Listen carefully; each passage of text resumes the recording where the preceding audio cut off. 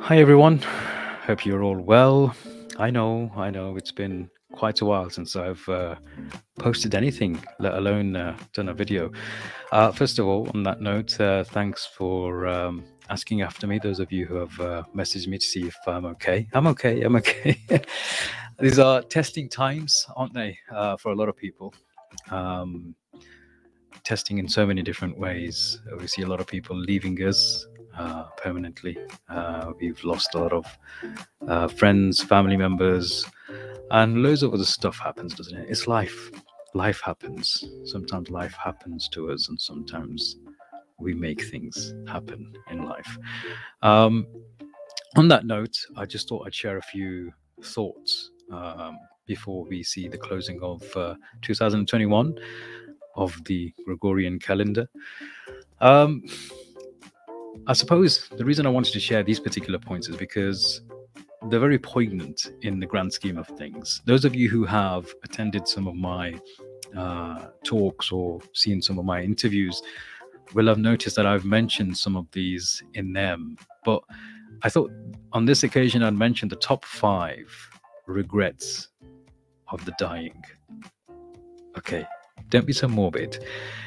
There is, when you look at and when you analyze or when you think about these regrets, it gives us an opportunity to make changes for ourselves.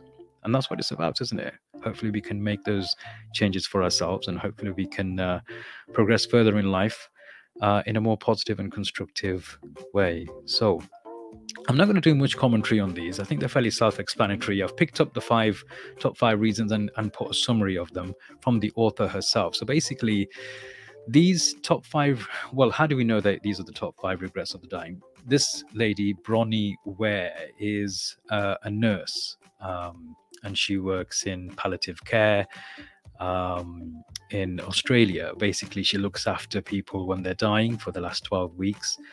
And what she decided to do was uh, write a journal. She did a study on what these well she discussed a lot of things but this particular portion of her study was based on the regrets of people when they were dying.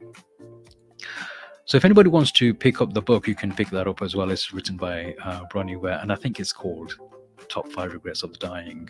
Uh, but he, these are the top five, and I think it's worth considering these things, and, and, and it's worth contemplating on these things um, as we go forwards in life. We don't want to wait until we're dying and then think, oh gosh, one of our regrets being I wish I'd paid more attention to those top five regrets of the dying uh, by Bronnie Ware. So here we go. Number five. I wish that I had let myself be happier. It's interesting, isn't it? Um, let me read the her short summary on that. This is a surprisingly common one. Many did not realize until the end that happiness is a choice.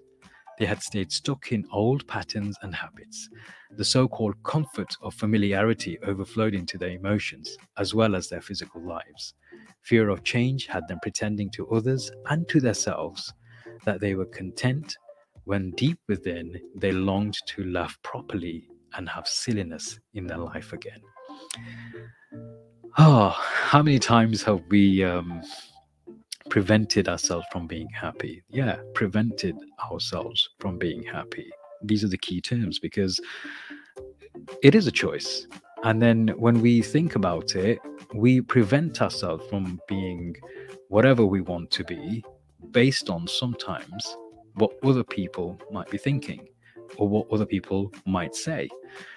So it's important that whilst we think about this, we think about our own lives and think about how we remember so fondly our childhood days, mainly because if you think about those anchors in our memories and our feelings are based on the positives and the silliness and the joyfulness and uh, you know the juvenile attitude that we may have had. I mean, yeah, of course, you can't always have a juvenile attitude to everything in life. Well, you can if you want to, but it's not always going to be the wisest thing to do. But think about where things started to go wrong if you're not happy as you should be, as happy as you should be, or you feel you should be, or you deserve to be.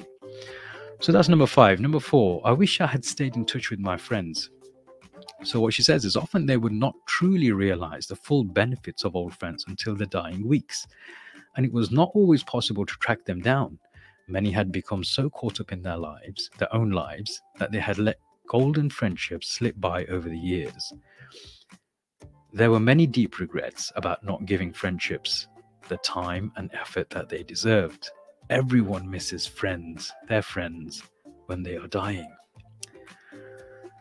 Wow. So, yeah, you can say that's life. We move on. You know, we make new friends. Yeah, we may we may make new friends. The question sometimes arises: What is a friend? Sometimes you feel that the friends you thought they were aren't real, true friends. Sometimes your real, true friends you mistook, mistook them for not being true friends because they told you something that you didn't want to hear.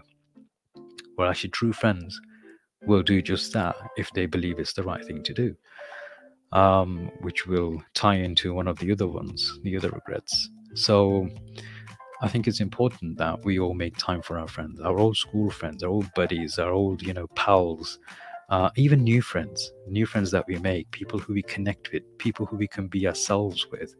You know, it's important that we nurture those relationships and not just friends, family. Some people within our own families have such personalities that we have a friendship type of relationship with them. So I think it's important that we pay heed uh, to this particular one at the same time. By the way, I mean, in some cultures, we go beyond just friendship, we call it brotherhood. And with that kind of a label, you know, there come responsibilities uh, hopefully be there for each other, especially when we are needed to be. Number three, I wish I'd had the courage to express my feelings. Um, many people suppress their feelings in order to keep peace with others. As a result, they settled for a mediocre existence and never became who they were truly capable of becoming. Many developed illnesses relating to the bitterness and resentment they carried as a result.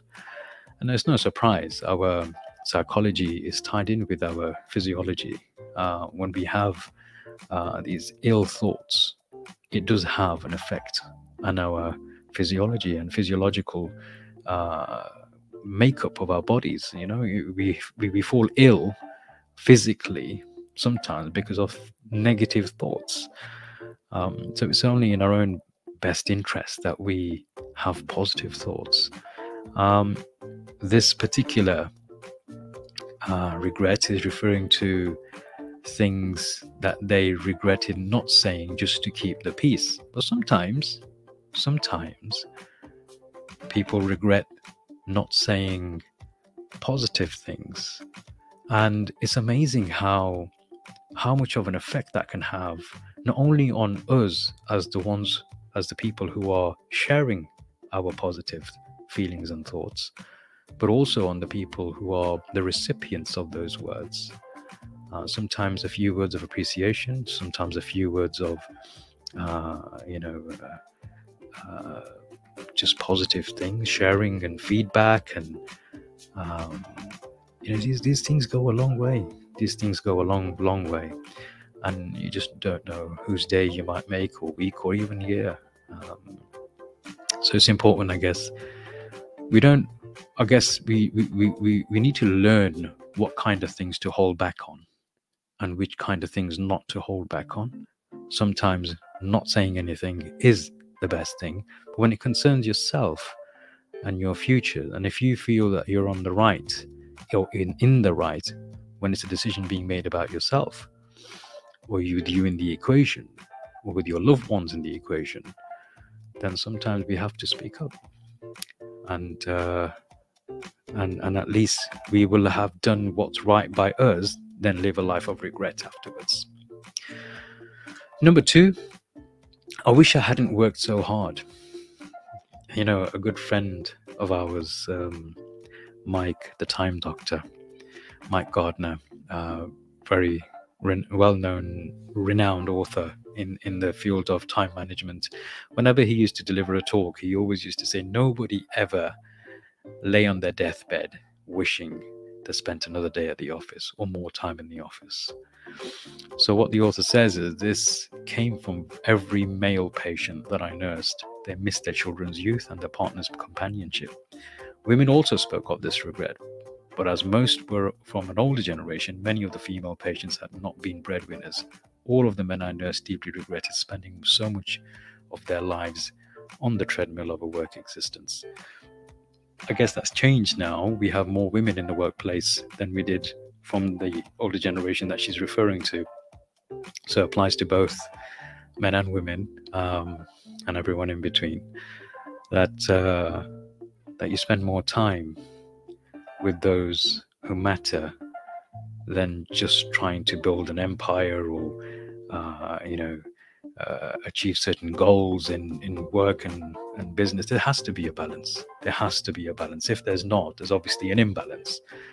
Um, so something uh, again to pay heed. And this next one is one that i always talk about in the um, in, in whenever i'm asked to deliver a speech on that particular topic. On uh, success on your own terms.